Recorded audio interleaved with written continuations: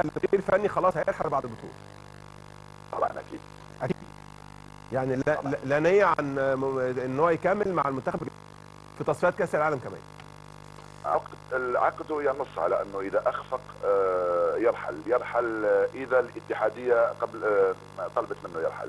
ولكن إذا الاتحادية طلبت منه أنه يبقى ممكن يبقى لأنه صعب اليوم تجد مدرب على الساحة. والجزائريين اليوم أو المنتخب الجزائري بالشكل اللي راح عليه اليوم هو في حاجة إلى قائد ليس إلى مدرب يعني صح، بالمعنى مظبوط. ال- بالمعنى الصريح ال- مدرب الأسماء يعني اللي شايفينها في يعني. الملعب دي فعلا محتاجة نعم. قائد مش محتاجة حد صح. فنيا قوي.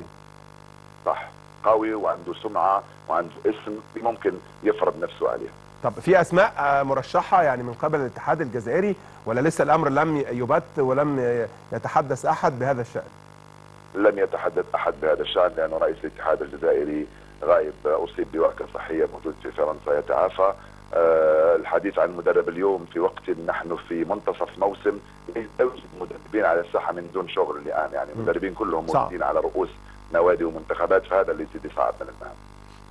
كابتن حفيظي شفت إزاي فوز آه، رياض محرز بجائزة أفضل لعيب في إفريقيا؟ طبعا للمرة الأولى يمكن من 10 بقالنا يمكن أكتر من 10 سنين ولا لاعب عربي حصل على هذه البطولة على هذه هذا اللقب. اولا شفته مستحق. ثانيا شفته مشجع للكرة العربية وللاعب العربي مشجع لرياض محرز. آه، شفته كنت أتوقع أنه يعطي دفعه للزملاء أو للمنتخب ولرياض في هذه المنافسة. آه، شيء أكيد أنه تتويج مستحق آه، يشجع اللاعب العربي على أنه يبذل المزيد من الجهد لأنه رياض اليوم لم يعد قدوة فقط بالنسبة للجزائر ولكن بالنسبة لعالمنا العربي وللعالم الإفريقي عموما أمر مشجع ورائع جدا لأنه حتى الجزائر من زمان لم تفز منذ عهد الاخضر باللومي وما ولابح ما جاء لم تفز بجائزة. مظبوط صح. مظبوط مظبوط. يعني للأسف الشديد بقالنا فترة كبيرة يعني اللاعبين. العرب بعيد عن التتويج بهذا اللقب. صح. طب عايز أسألك يمكن سؤال مهم جدا. يعني يعني يقال أو اتقال إن إن رورمه بيتدخل في الفنيات. هل الكلام ده صحيح؟ والله والله بتاعتك دي يعني فيها فيها فيها فيها. قيل وقال. لا نكذب عليك لو نقول لك نعم ونكذب عليك لو نقول لك لا. أنا لو كنت رئيس اتحاد آه. آه، في بعض الأحيان نتدخل. مش نتدخل مثلا لفرض لاعب أو لتغيير لاعب. كاين هناك تدخل من تدخل يعني. آه ولكن آه أنا الشيء اللي نعرفه يعني يتدخل من أجل إقحام لاعب أو من أجل تغيير لاعب لا أعتقد.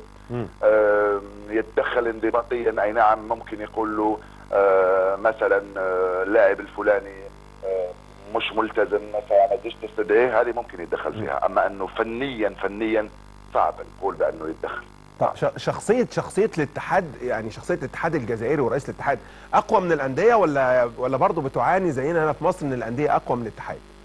لا لا بالكثير أقوى بكثير من الأندية. أقوى من الأندية. آه شخصيه الاتحاد وشخصية رئيس الاتحاد هو اللي فرض هذه الهيبة. فهيبة محلية وهيبة قارية كما تعرف.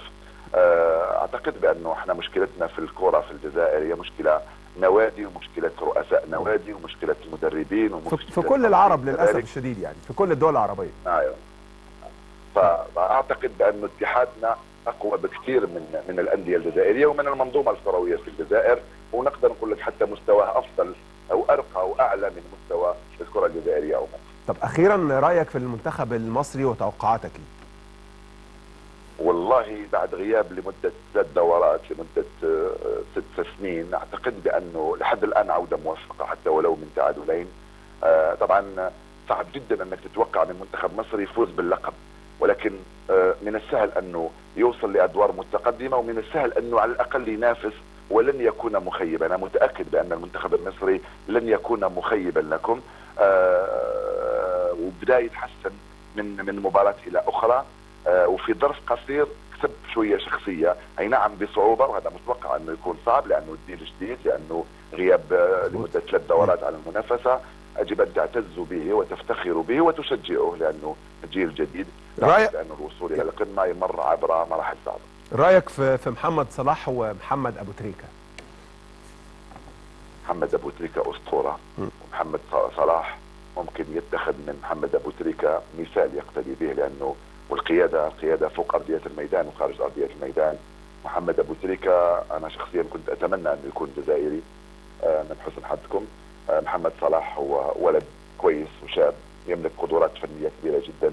نتمنى إن شاء الله يكون في مستوى بلد من حجم مصر ومستوى مستوى منتخب من حجم مصر ويقوده إن شاء الله من انتصارات إلى انتصارات. صدقني نقولها لك بكل بكل بكل معزة وبكل بكل أخوة.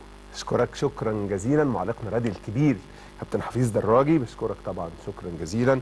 وكل أمنياتنا طبعا للفريق الجزائري يعني في بطولة تصفيات كأس العالم القادمة إن شاء الله